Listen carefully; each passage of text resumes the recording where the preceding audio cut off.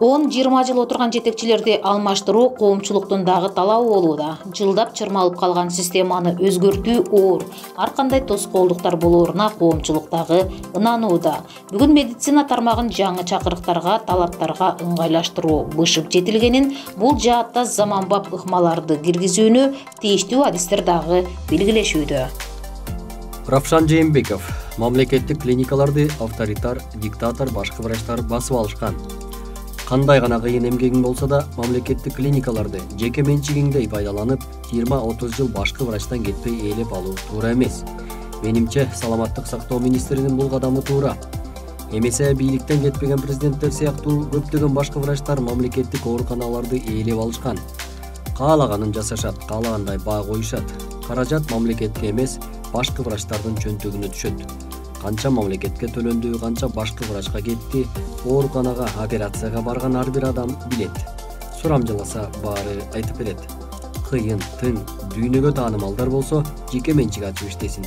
Эч ким каршы болбойт.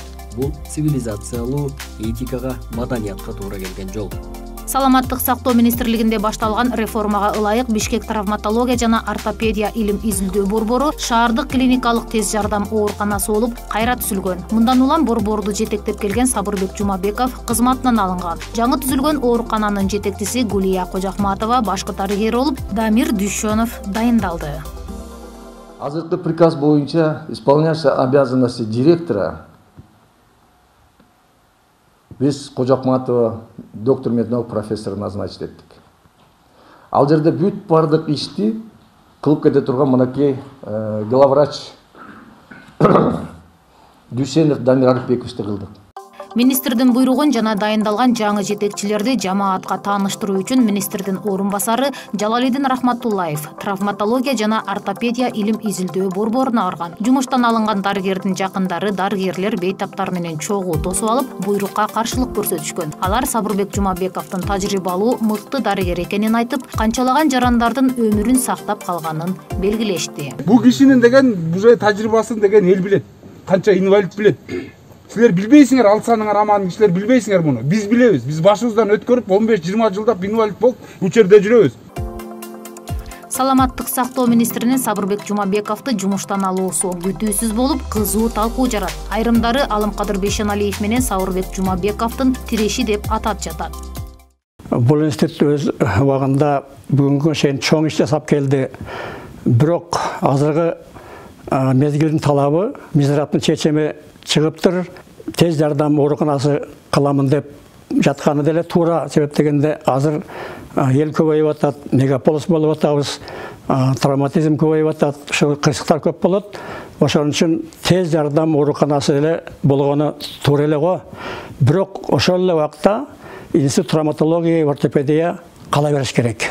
Мен оюм боюнча эми окумуштуу сабыр сабыр артисбекович өз убагында мына кылды уул окумуштуу ал эми анын кызматында баалашыбыз керек.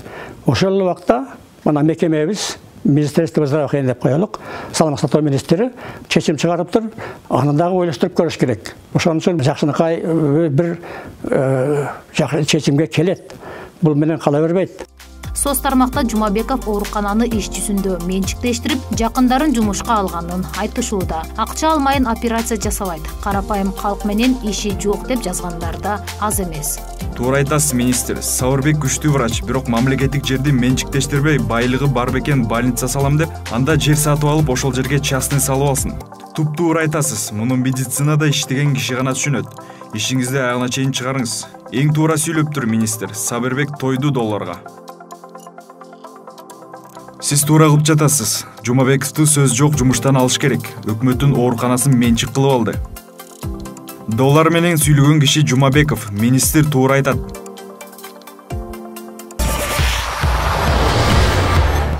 Бишкек травматология жана ортопедия илим изилдөө борбору. Эки миң төртүнчү жылы бишкек шаардык мэриясы шаардык кеңеш жана саламаттык сактоо министрлигинин үч тараптуу келишиминин негизинде уюштурулган. Эки миң он бешинчи жылы бишкек шаарынын жергиликтүү бюджетинен каржыланган саламаттык сактоо уюмдарын саламаттык сактоо министрлиги жана милдеттүү медициналык камсыздандыруу фонду аркылуу республикалык бюджеттен каржылоого өткөрүү жөнүндө кыргыз республикасынын өкмөтү беш жүз жетимиш жетинчи токтом кабыл алган. Токтом кабыл алынганы менен иш жүзүнө ашпай кол коюлган келишим аткарылбай келген.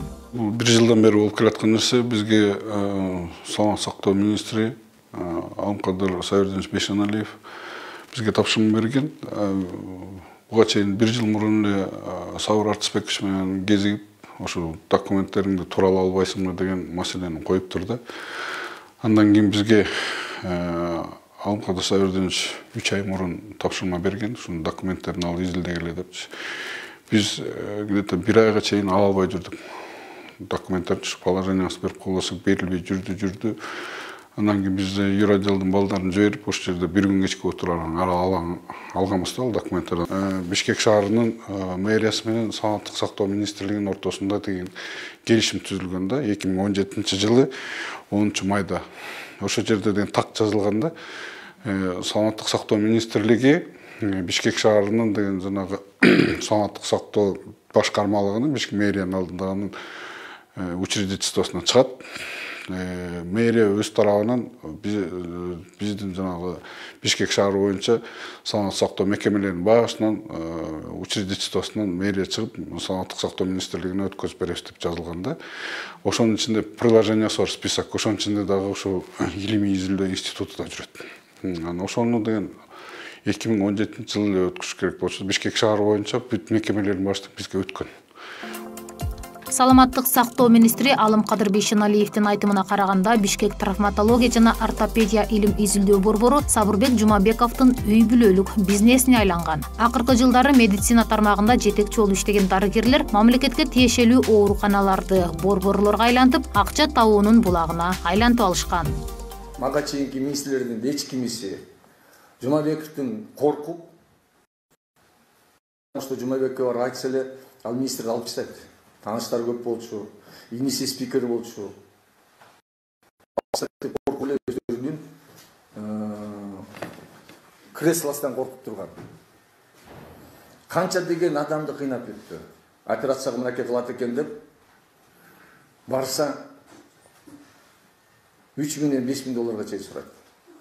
Учурда саламаттык сактоо министрлиги медицина тармагында реформаны улантып миллиондогон каражаттарды таап жаткан дарыгер бизнесмендерге каршы аракеттерин уланта бермекчи. Демек жакынкы күндөрү аларды коргогон тууган дос талапташтардын нааразычылык акциялары өтүп турары айдан ачык болуп калды биз ошол мыйзамдардын баарын ордуна келтиришип мыйзамдатып бекитиш үчүн ушул кадамга бардык да саламаттык сактоо министрлиги.